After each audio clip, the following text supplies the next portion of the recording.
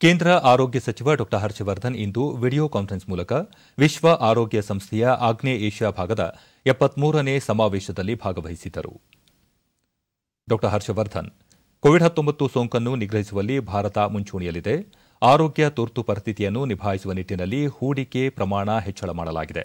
ಭವಿಷ್ಯದಲ್ಲಿನ ಸಾಂಕ್ರಾಮಿಕ ರೋಗಗಳನ್ನು ನಿಯಂತ್ರಿಸುವ ನಿಟ್ಟಿನಲ್ಲಿ ಯೋಜನೆ ರೂಪಿಸಲಾಗಿದೆ ಎಂದು ತಿಳಿಸಿದರು.